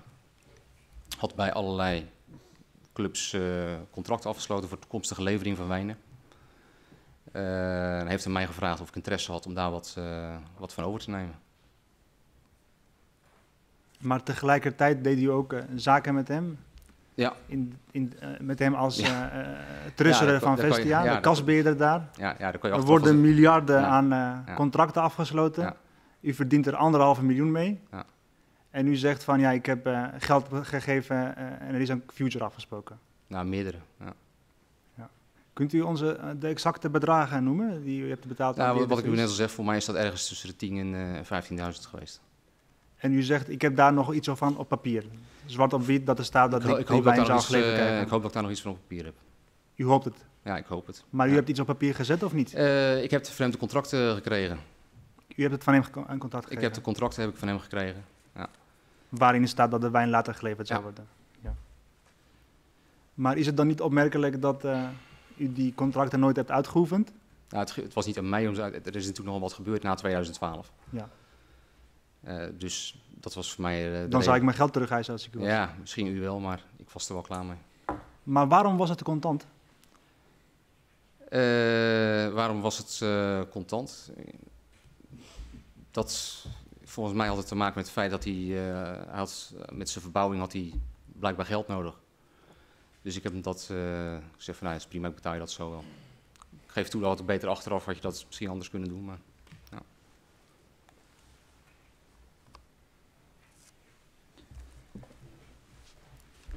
Doet u dit vaker? eh, contante betalingen uitvoeren? Voor, eh, contante betaling, nee. nee. nee. Maar u vindt het zelf ook opmerkelijk dat u het gedaan hebt? Nou, ja, opmerkelijk. Ach, het, is, het, was in mijn beleving niet een, eh, een enorm bedrag. Dus vandaar dat ik er niet zoveel problemen mee had. Want hoe kwam u aan dat geld, de contanten? Ja, je neemt het gewoon op. U heeft het opgenomen? Ja. ja. En wat vindt u ervan als de heer De Vries verklaart dat hij dat geld heeft gekregen in verband met eh, eh, transacties Nou, dan zeg ik, eh, die met JP Morgan te maken hadden? ja, ja, nou, dan zeg ik, hij weet niet wanneer, dan, dan is hij de weg kwijt. Waarom? Nou, dat is niet zo.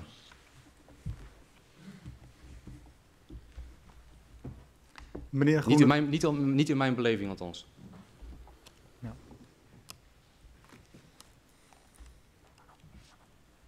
Er was ook geen enkele noodzaak om ook maar iets te betalen.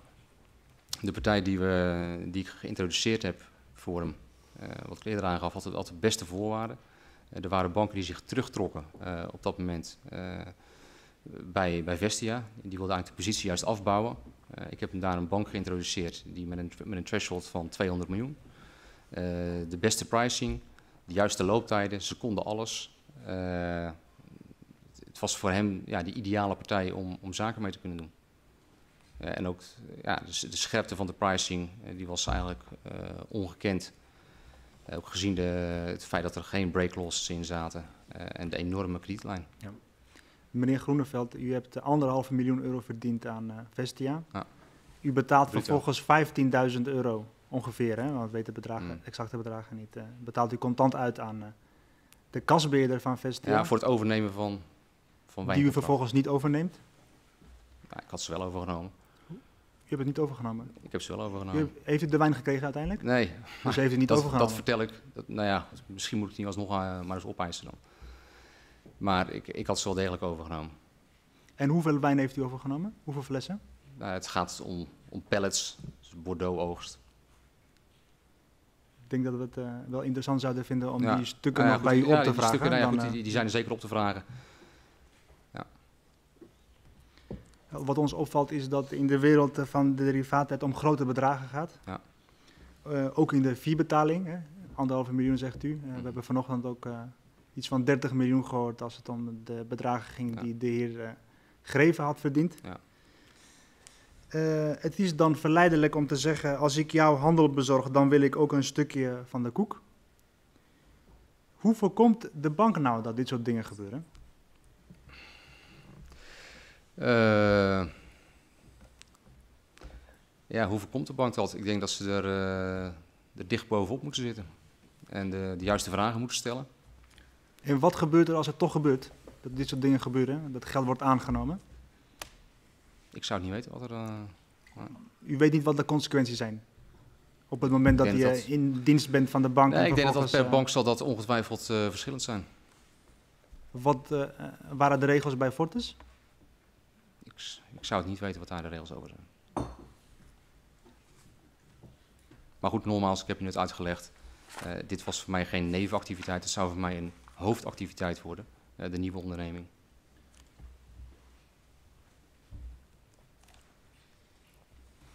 Dan mijn slotvraag, dan geef ik het woord weer terug aan de voorzitter.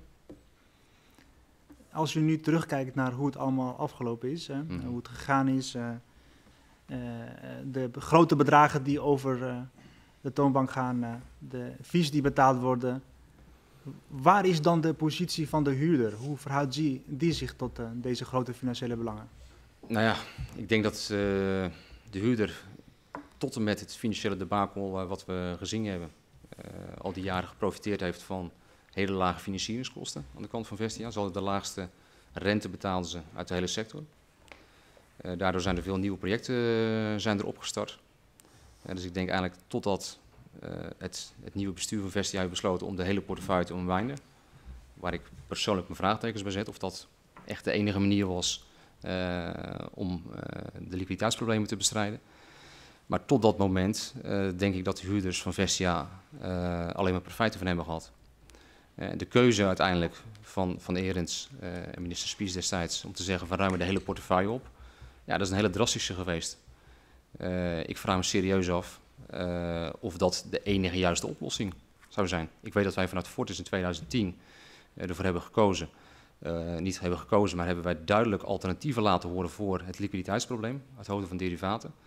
Er bestaat onder andere de mogelijkheid om derivaten te koppelen in artikel 4 van de leningovereenkomst, de zogenaamde dienst van de lening. Uh, daar, is, daar is men niet op ingegaan. We hebben wel het aanbod gedaan. Als dat kan, zijn wij bereid om volledig van bijstorting af te zien. Ik kan me ook voorstellen dat je zegt op een bepaald moment, in plaats van een winden van een hele portefeuille, kies ik ervoor uh, om bijvoorbeeld een garantie uh, op de kaststromen af te geven. Ook daarvan weet ik, in 2000, begin, eind 2011, begin 2012, dat er banken, genoeg banken bereid waren om te zeggen van wij gaan niet door met het vragen om bijstorting. Eh, op het moment dat we 5 miljard naar Griekenland uh, sturen, uh, dan vindt iedereen dat blijkbaar heel goed kunnen. Maar waarom er niet een garantie afgeven dat althans de, gewoon de rentebetalingen worden uitgezeten. Dat had in mijn beleving, en de, ook in de beleving van heel veel van de banken waar ik mee gesproken had, een veel betere oplossing geweest dan roeksgeloos zeggen, hup, streep er uh, we hebben geen derivaten meer. Ik denk dat er in paniek een beslissing is genomen om die portefeuille te unwinden. Uh, wat we vervolgens gezien hebben toen dat eenmaal boven de markt hing, is de rente. Het wordt op een bepaald moment wordt het een self-fulfilling prophecy. Uh, toen de problemen bekend werden, stond de 50 jaar rente op 2,30. Toen de portefeuille geunwind is, stond de rente op 1,80. Om vervolgens binnen een jaar weer terug te gaan naar een niveau van ongeveer 2,80. Het verschil daartussen, hè, praten we bijna over een. Ik heb dat later eens nagerekend over een verschil tussen de anderhalf en 2 miljard. Wat je had kunnen besparen door op een andere manier met deze, deze problematiek om te gaan. Waar ik zelf bang voor ben als we ja. proberen lessen te trekken uh, voor de toekomst. Uh, is dat dit soort fouten in de toekomst namelijk zo weergemaakt kunnen worden op het moment dat je in paniek. Uh, Want welke partijen zijn dat dan die de rente dan naar 1,8 hebben gestuurd en vervolgens naar 2,8? De, de gehele markt. Op het moment dat dit Niet alleen de markt kwam, op het moment dat dit naar buiten kwam, dat dit boven de markt hing. En alle professionele, media, en alle professionele media werd hierover geschreven dat er problemen waren bij Vestia. iedereen in de city die praat met elkaar. Uh, en men wist hoe groot op een bepaald moment die portefeuille potentieel zou kunnen zijn. Ja, en dan word je eigenlijk gewoon een, slachtoffer van de, van de trades die je zelf wil gaan doen. En dat is, dat is wat hier gebeurd is. En ik vind dit ja, toch ook wel iets voor het uitzoeken waard. Van waarom, tuurlijk, je, je kan op een bepaald moment zeggen, we hebben liquiditeitsproblemen, daar moeten we iets mee doen. En dat is heel begrijpelijk. Maar is dit nu de enige oplossing geweest? Ik denk het zelf van niet. Ik weet 100% zeker dat er genoeg banken zouden zijn geweest die met een garantie uh, genoeg hadden genomen. Ik denk zelfs wel bijna alle banken. Er was dat geen enkele bank heeft zitten wachten op problemen zoals deze. Kijk naar de voorzitter. Meneer Groeneveld, uh, we horen heel vaak dat uh, oplossingen misschien verkeerd waren, maar oplossingen zijn er gekomen omdat er eerst een probleem was bij Vestia. Als woningcoöperatie kun je natuurlijk ook gewoon alleen maar met sociale huurwoningen bezighouden in plaats van met een financieel uh, circus. Dat is toch de basis van wat er allemaal is gebeurd. En waarom Vestia wereldwijd in de top 2 staat van financiële schandalen. Nog voor meneer Nick Leeson van Barings Dus dat wil ik het toch maar even meegeven. Um, meneer Groeneveld, u zei net, u heeft anderhalf miljoen verdiend. Met de JP Morgan fase, FMS, dat was uw eigen bureautje. U was toen ook agent of bemiddelaar. We hebben ook wel een hoger getal gehoord, namelijk tussen de 3 en de 3,5 miljoen. Die u in het jaar verdiend zou hebben. U heeft alles altijd netjes gedaan begrijpen we van u. Dus dat betekent ook dat wat u in 2011 allemaal heeft verdiend via JP Morgan als fee voor uw, voor uw contacten naar Vestia, dat dat ook allemaal in uw aangifte is terechtgekomen. Absoluut. Ja. En dat is dat bedrag van anderhalf miljoen. Ja. ja, en ik heb daarnaast nog met meer klanten gewerkt dan alleen met, uh, met JP Morgan en alleen met Vestia. Wat was die totale omzet dan in dat jaar? Met FNS? Nou, niet één jaar. Dan praat je over een periode van 2,5 jaar. Ja. Dan, uh, dan, moet je ongeveer denken aan een, uh, ja, een goede 3 miljoen, 3 miljoen euro, plus minus. En in 2011, 2011 alleen dat jaar? Nou, dat weet ik niet uit mijn hoofd. En als u dat allemaal netjes gedaan en ook bij de Belastingdienst heeft gemeld, ja. dat betekent dat dus ook dat de betalingen die u, heeft, u zelf heeft gedaan aan de heer De Vries, dat die ook daar zijn vermeld? Nou ja, wat ik al zei, dat was een privébelegging.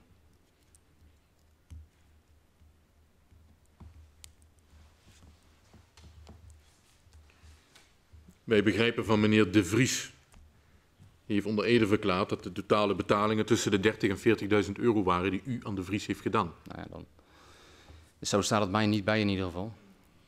Dus dan uh, neem ik aan, ja, dan moet hij daarmee met uh, bewijzen komen. Wat wel opvalt is uh, dat het de heren die vanochtend hier onder Ede zijn geweest, die doen vrij precieze verklaringen en stralen bij die verklaringen ook een bepaalde zekerheid uit, meneer uh, Groeneveld. En u zegt de hele tijd, in mijn beleving. Ja. Dat is nogal een gigantische nuance op vragen van onze commissie, ja. die toch echt een waarheidsvinding doet en u erop wijst dat hij onder ede staat. Dus de hele tijd, in mijn beleving dit, ik heb dat in mijn beleving ja, niet zo verteld, in mijn beleving zo'n bedrag, in mijn beleving de contanten wist ik niet. Dat gaat wel een beetje richting uh, gigantisch eromheen draaien. Nee, nou ja, zo, zo is het niet. Ik denk dat deze twee heren die verklaard hebben zullen ongetwijfeld hun, uh, ook hun eigen belangen hebben om te verklaren wat ze verklaren. Uh, zonder dat ik daar nu op dit moment insinuaties uh, over ga maken. Eh, ze zijn hier blijkbaar al, zitten ze hier een aantal jaren over na te denken wat ze hier eh, misschien op willen verklaren. Ik weet het niet. Eh, u confronteert me hiermee. Eh, ik probeer terug te grijpen op mijn herinneringen. En dit is wat ik, wat ik er nu over eh, te zeggen heb op dit moment. Bent u nog bevriend met de heer De Vries? Nee. Was u ooit bevriend met de heer De Vries? nee nou, ik zou niet willen zeggen bevriend. Ik ging vriendschappelijk eh, misschien met hem om, maar niet echt een, eh, een vriend. Zag u hem in Portugal wel eens? Dat heb ik u eh, tijdens de voorbespreking gezegd. Ik heb hem, we waren daar alle twee toevallig op vakantie. Heb ik hem van de hele vakantie misschien twee dagen gezien. Wat heeft de Fortis Bank naar uw mening verdiend aan alle transacties met Vestia? We hoorden dat Deutsche Bank en zo allemaal banken waren die eh, hebben aardig een Vestia verdiend, soms 50 miljoen in één jaar. Ja, nou, dat hebben wij eh, niet verdiend eraan. Nee. Ja, ik denk, ik denk eerlijk gezegd, eh, het zou mij niet verbazen als je uiteindelijk als je concluderen dat de bank erop verloren heeft.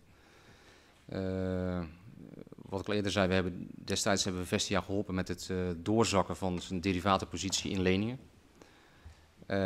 Dat betekent dat we in die leningen hebben we Vestia de, eigenlijk de, kredietspread is gefixeerd op nul basispunten. Dat betekent geen opslag. Eh, als je die leningen bekijkt, wat daar eigenlijk de, de waarde van is op basis van de fundingkosten die de bank eh, daarvoor heeft, dan denk ik eigenlijk dat je moet concluderen eh, dat de bank per saldo ja, er geld op verloren heeft. Goed. Mevrouw Hashi heeft nog een vraag voor u.